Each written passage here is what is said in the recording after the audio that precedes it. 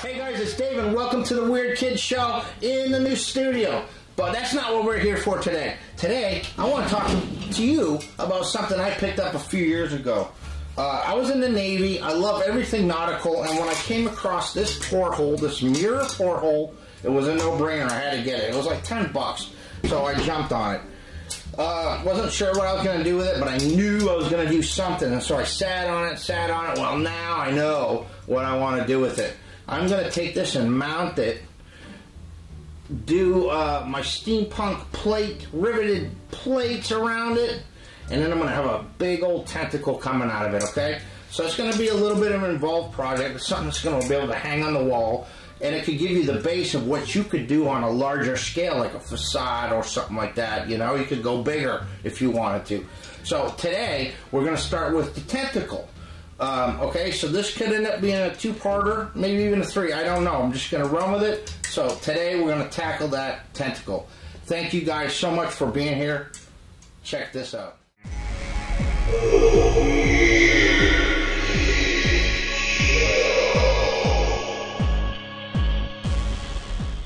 Alright guys, so yes, I, I found this at Goodwill and it was a no-brainer. I wanted to do something nautical with it at some point in time, although I didn't know what.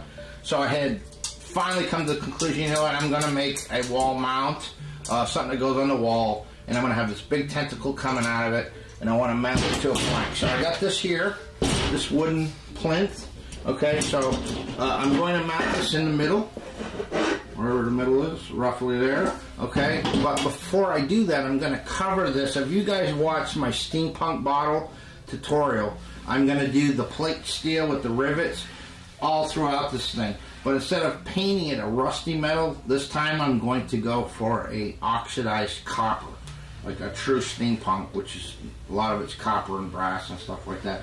So I'm going to do that throughout the whole thing.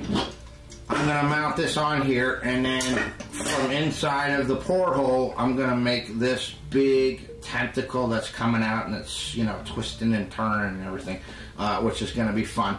But being that that's the most involved part of this this build, I'm going to uh, do the tentacle first. How am I going to do that? Well, the first thing I do is I got, you can buy big uh, bundles of this at Home Depot. This is called drop down ceiling hanger wire. And you can get a good sized bundle of this for under 20 bucks, okay? And it'll last, it should last you for a long time. And you can bend it and manipulate it and stuff. It's great stuff. If you saw my uh, cyborg skull spider tutorial, I use this for its legs and stuff so you can see that it supports the weight of whatever you have there. So it's strong stuff. Um, so I'm using that for the armature of the tentacle. And then, uh, if you guys have been paying attention, I told you, every time you're driving down the road and you see somebody throwing a couch out and put it to the curb, whether you got to keep a trash bags in your, in the, you know, haul them around with you in your car with a can of Lysol, go out and grab those cushions. Uh, throw them in a plastic bag, spray it down good with Lysol, seal it up, and throw. You know, all you need is the free foam that's inside those cushions, okay? Because this is going to be the base of my tentacle, all right? So I've got this piece of free foam from a couch that I had uh, saw on the side of the road, and I'm going to go ahead and I'm going to cut this thing uh, on the bias, okay? I'm going to start uh, real thick at the end and then slowly start to taper up. Now this is going to be a rough cut just to get this thing out. We're going to start getting finer. I'm going to show you how I do that to whittle it down into a nice, clean, round tentacle, okay? So I'm going to go ahead, we're going to need that. We're going to need some liquid latex because we're going to paint the finished tentacle with the latex. And then the last thing we're going to do is to paint everything. But we're going to get into all of this thing. And uh, like I said, I don't know if is going to be more than one part, but anyways, this is fun. I'm excited. I'm looking forward to this. So thank you so much for being here, and let's let's do this thing, guys. See you in a second. All right, guys. So this is what I cut out of that big piece of foam. All right, it don't look like anything now. Uh, it's the general shape, and that's all we want right now. Now what I do, and this can take a while, but uh, it's possible and that is we can see it's like square all right so I'm going to go down this sharp edge and start cutting away All right, and just keep going around it and beveling all the sharp edges. And what I'm also doing uh, by doing that is I'm shaping it. All right, I'm getting it in the shape of a tentacle. It's going to take a while, but it's possible to do.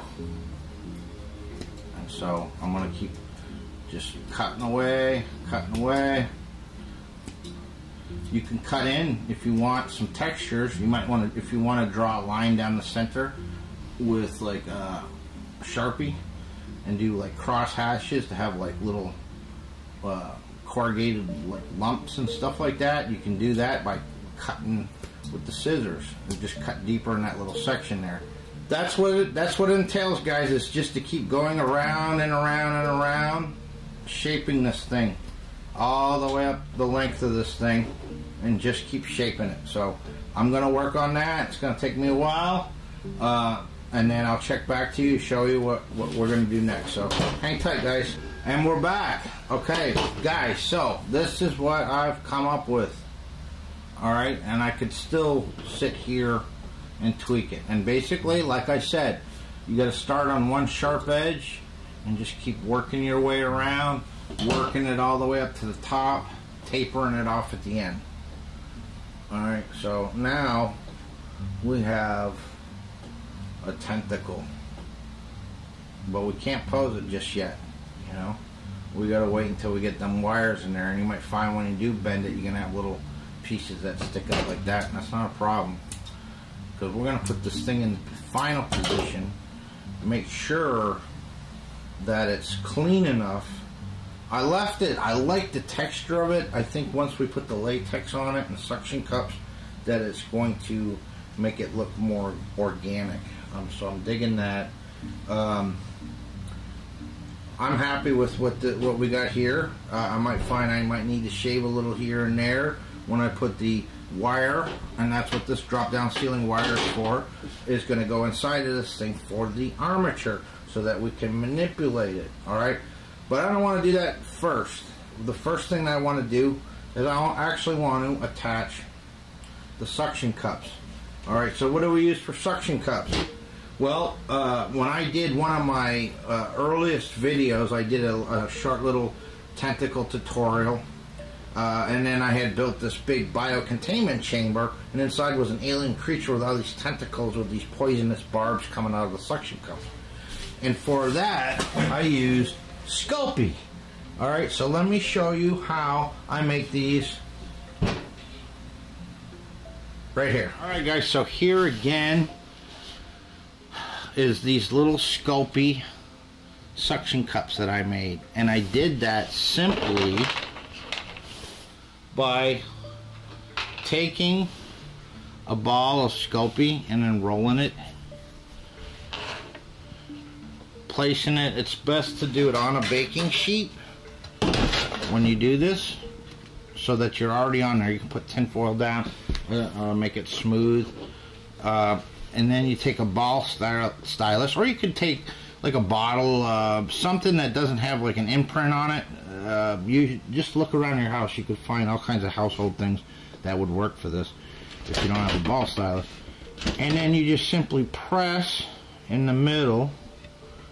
I kind of turn it a little bit. And you can widen it, whatever.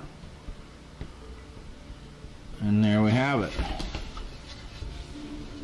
It's that simple. Now I have a suction cup. Uh, to show you what it's going to look like. Decide which part of the tentacle is going to be the bottom with the suction cup.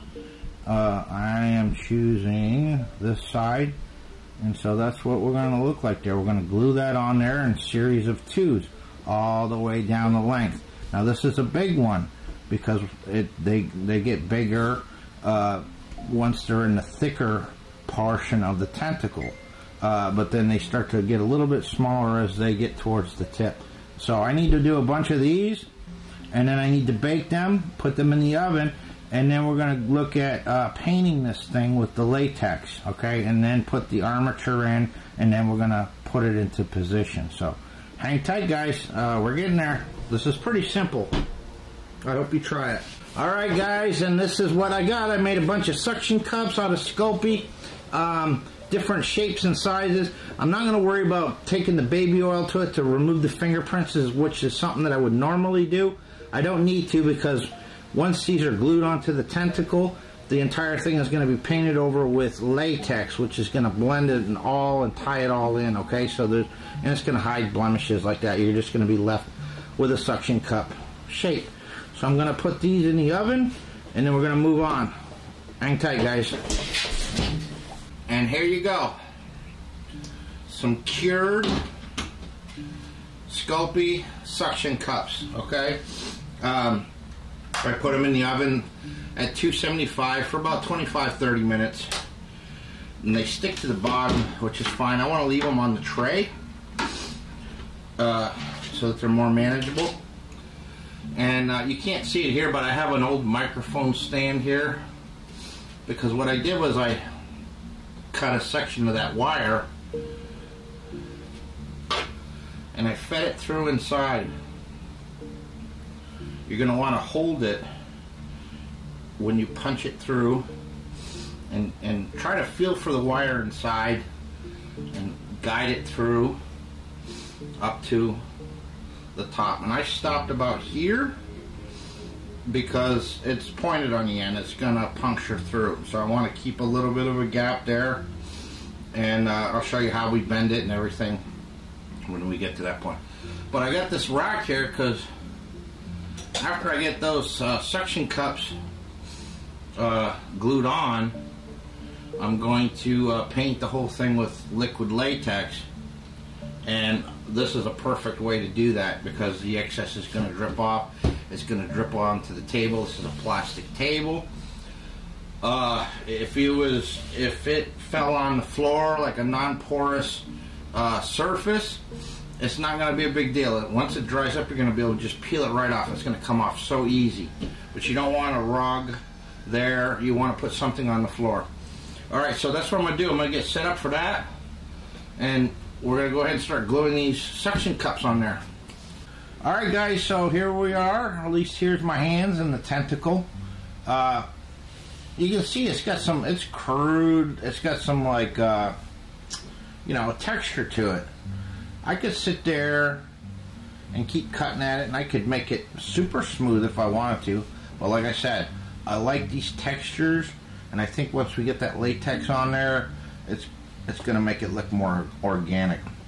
So it's going to be either this side or this side where I put the suction cups. And I think I'm going to use this side because I have a little groove that where it was undercut a little bit too much. So uh, I think I'm going to be able to hide that a little bit more with some suction cups and pack some uh, uh, latex in there.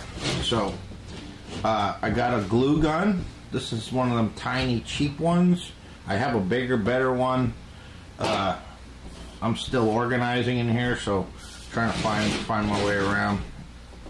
Now, uh, this is the thick end. This is getting closer to the body, this end here. So the tentacles are going to be uh, bigger and then gradually start to get uh, a bit smaller as they go down. Uh, and like I said, I got my glue gun here, got some extra glue sticks. Now it's just a matter of going in my tray here and figuring out what I want to use. And I've got some, uh, some big ones. I could probably go with there. Alright. And uh, just using the hot glue. Uh, you don't have to worry about, oh, hot glue, uh, the temperature, whatever. Uh, all we're doing is tacking. Alright, so we're not getting all meticulous uh, with this one here as far as how we, we glue it down.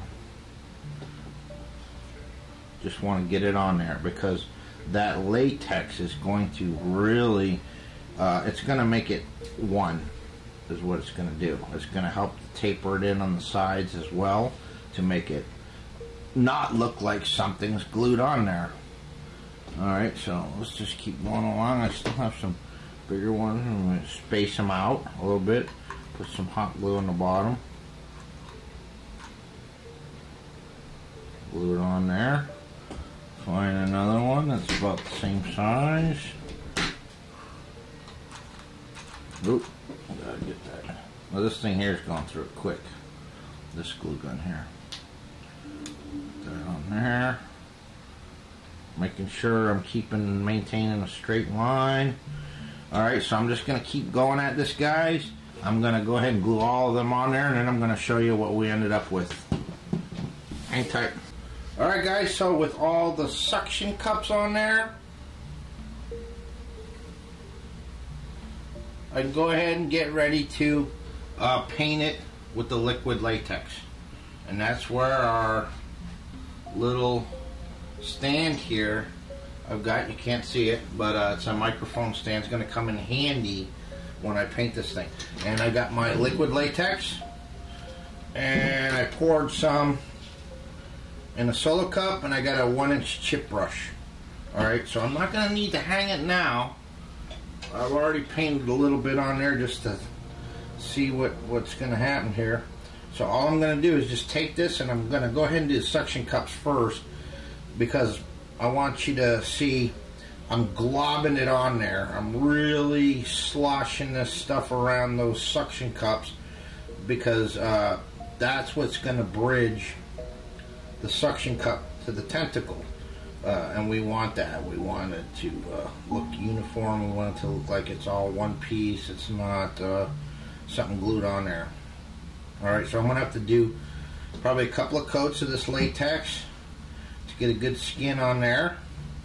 Alright, uh, I'm indoors. I'm going to be putting a fan on here in a second. Uh, latex has ammonia in it. I can smell it.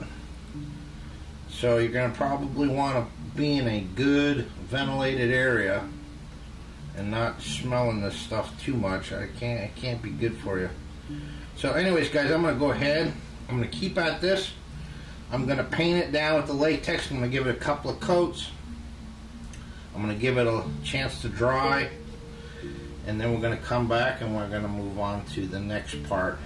Uh, I don't know if I'm going to paint it first before we assemble the rest of this thing and mount it or if I do the other piece first mount this in there and then paint it uh, we're gonna see here uh, I'll figure that out as we get there so anyways guys hang tight little update here um, I've got about two heavy coats on it so far uh, and what I actually did was I laid it down I actually poured the latex on there and uh, worked it in with the one inch chip brush. Now I'll tell you, if you're not used to working with latex, uh, don't use your good brushes. Don't use your house brushes and stuff like that because they're going to get gummed up and ultimately you're going to have to throw it away. You can get some of that out with alcohol, but that's why they make chip brushes. You can buy these dime a dozen uh, to avoid the little gummies all throughout. You might want to like use a new brush for each coat. Okay. Uh, one thing I found this thing's top heavy. This thing's heavy now, so uh, because it's only just slipped through uh, with the wire, the weight of it was slid and sliding off the wire. So I ended up like laying it down, uh, and I'm gonna put maybe a few more coats on it. Uh, it needs 24 hours to dry, so uh, that's all I'm gonna be able to cover in this episode. When you see this thing next, it's gonna be completely uh, latexed, cured, dried, and ready to go, ready to pose. Uh, and then we're going to get into the actual porthole and the uh, bulkhead surrounding it. All right. All right, guys. If you haven't done so already, please like and subscribe and hit that bell. It's going to notify you when I upload future videos. And with especially with builds like this, where it's going to come in a few episodes, you're definitely going to want to get notified when part two comes up. So hit that bell. Um, check out my brothers, uh, Keith from Cobwebs and Candlesticks, and uh, Vic Springston from Monster Misfits. Um, and anyways, guys, I appreciate you so much. And until next time, peace.